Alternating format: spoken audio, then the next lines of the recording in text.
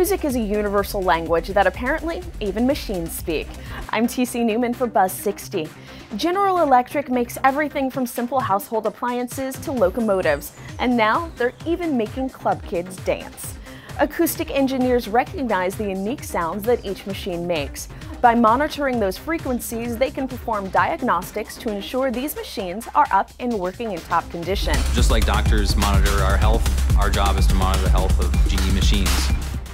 DJ and music producer Matthew Dear took the sounds of those devices and mixed them together as electronic pop. We've collected thousands of sounds of GE machines, and now I'm making the big drop. The result is a song titled Drop Science that can be downloaded from SoundCloud. See, GE does bring good things to life, even music. Buzz 60, now you know, pass it on.